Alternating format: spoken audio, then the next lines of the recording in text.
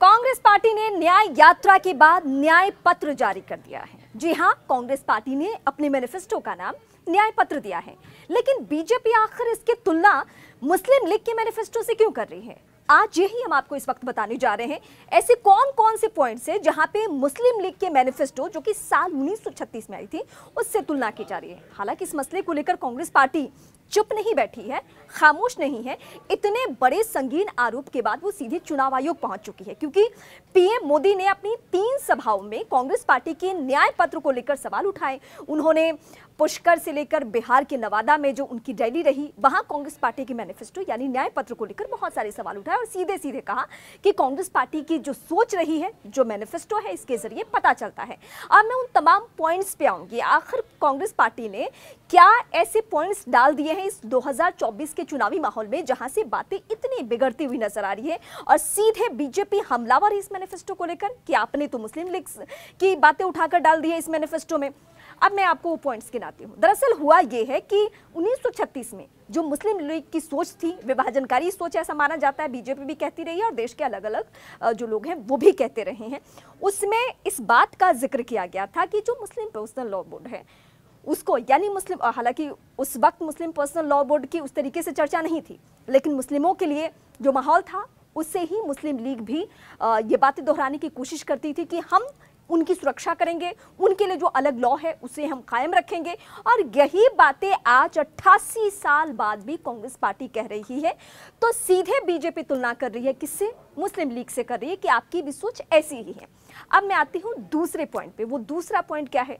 एक तरफ़ पूरे देश में माहौल है यूसीसी को लेकर। आपको याद होगा पुष्कर सिंह धामी ने, जो कि उत्तराखंड के सीएम है, वहाँ पे यूसीसी को कैबिनेट से पास भी करा दिया। उसके बाद माहौल बना कि शायद ये पूरे देश के लिए लागू होगा, यानी एक देश एक कानून, सबके लिए एक ही कानून, कोई धर्म, मज़हब का एंगल नहीं होगा। ये यूसीसी की बड़ी बातें हैं। हालाँकि केंद्र सरकार अभी भी इस पर विचार ही कर रही है।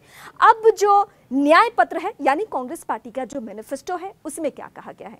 उसमें यह कहा गया है कि हम आ, मुस्लिम पर्सनल लॉ बोर्ड को जारी रखेंगे। बहुसंख्यक बहुसंख्यकवाद के खिलाफ लड़ाई लड़ेंगे। अब जब भारत में आप बहुसंख्यक कहते हैं तो कौन आता है? बहुसंख्यक में हिंदू आते हैं। और यही वजह है कि सवालों के घेरे में कांग्रेस पार्टी को ले रही है बीजेपी। अब ये मामला चुनाव आयोग पहुँचा है। चुनाव आयोग की तरफ़ से अभी कोई उस तरीके का कमेंट आया नहीं है लेकिन मैनिफेस्टो की ये लड़ाई बहुत बड़ी हो चली है। कांग्रेस पार्टी की अपनी दलीलें हैं अपना तर्क है।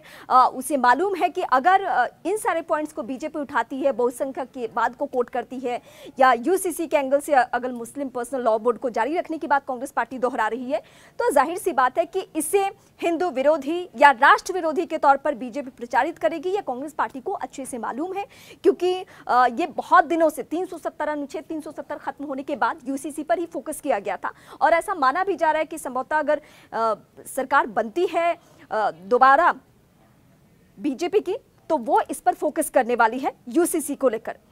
अब कांग्रेस पार्टी ने चुनाव आयोग में शिकायत तो कर दी है लेकिन हर मंच से अब उन्हें यह साबित करना पड़ेगा चुनावी माहौल में कि जो हमने न्याय पत्र में बातें कही है वो हिंदुओं के खिलाफ बातें नहीं है, वो राष्ट्र विरोधी बातें नहीं है। हम राष्ट्र को सपोर्ट कर रहे हैं, यानी चुनाव चुनावी माहौल में कहीं ना कहीं बीजेपी ने घेर लिया है कांग्रेस पार्टी को इस मुद्दे पर। आप कमेंट करके बता सकते हैं कि क्या वाकई जो मैनिफेस्टो में कांग्रेस पार्टी ने बातें रखी है, उससे उसकी चुनौती बढ़ने वाली है या लोग उस पर भरोसा करेंगे?